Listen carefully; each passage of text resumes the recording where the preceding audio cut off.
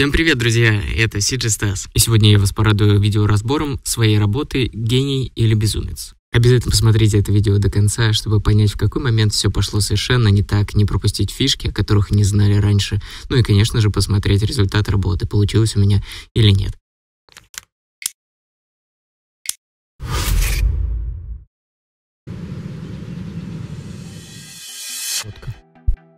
Сразу попадаем к работе, где я начинаю вырезать главного героя пентулом, как это делаю всегда, для того, чтобы создать клиппинг маск.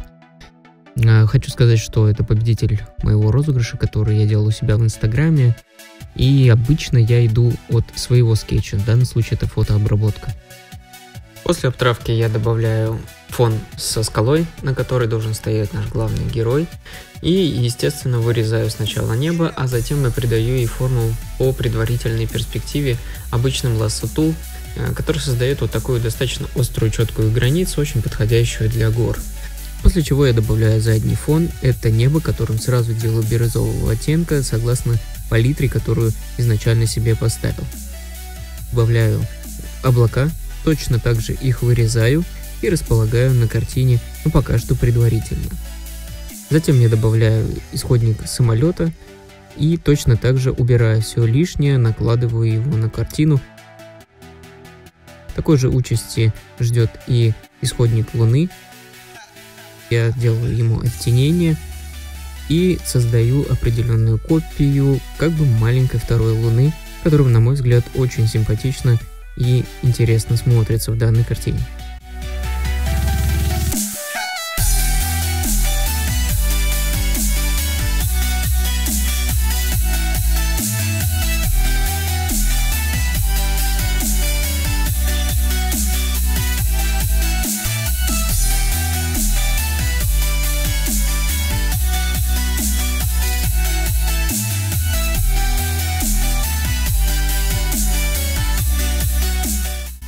Немного повозившись со звездным небом, где мне пришлось немножко поправить исходник, который не хотел заполнять а, всю картину, я начинаю первую цветокоррекцию.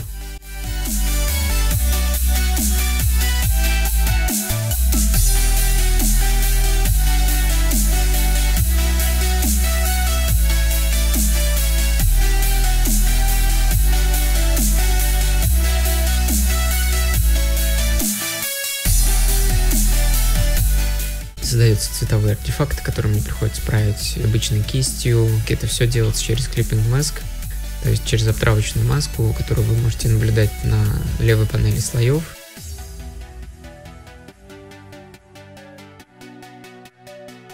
Выделяю рубашку для того, чтобы поменять на ней цвет, тоже создать отдельный цветовой слой, это корректирующий, и делаю подобие рубашки для сумасшедших.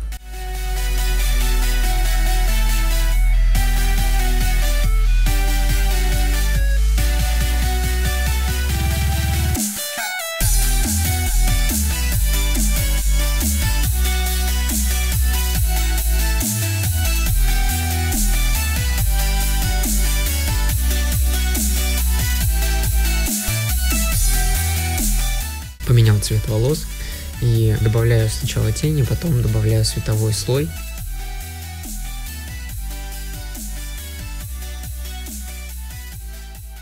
Попробую разные возможности цвета рубашки, но оставил ее все-таки белой.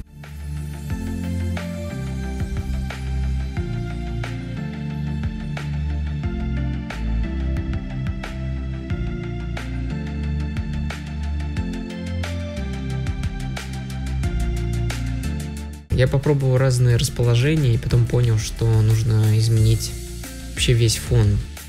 То есть взять его и отразить, тогда будет правильно с точки зрения а, светотени, то есть свет пойдет слева направо. Более светлые части будут слева картины, более темные справа.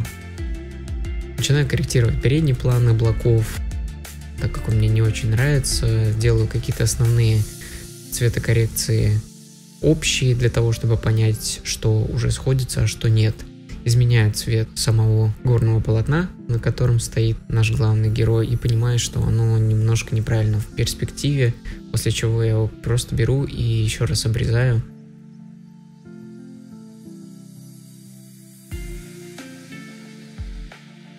меняю цвета. Мне вот понравились эти голубенькие цвета на самой скале. Я хотел, чтобы они были более ярко выраженные. Делаю более четкие, скалистые, но при этом не плоские какие-то границы.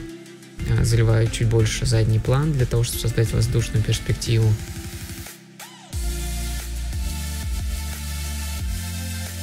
И решил, что надо добавить белых птиц. Просто беру, иду в Яндекс элементарно, скачиваю первую попавшуюся картину и заливаю ее на наложение, убирая а, при этом темный фон в просто настройках слоя.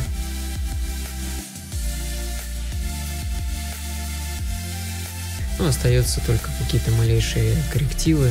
И самое главное, цветокоррекция. Я сохраняю файлы, отдельно его открываю для того, чтобы уже корректировать его в камеру RAW. Перед тем, как посмотреть финальную работу, я буду очень признателен тебе, если ты подпишешься на мой канал, поставишь лайк. Начинать очень трудно, будет здорово, если ты поддержишь меня на этом пути. У меня также есть Инстаграм, где выпускаются в первую очередь все мои арты и обработки. У меня достаточно крупный план по созданию туториалов, подобных видеоразборов и куча-куча всего интересного, чего еще не было на ютубе в этой теме. Ну а пока все, спасибо, что посмотрел ролик. Пока-пока.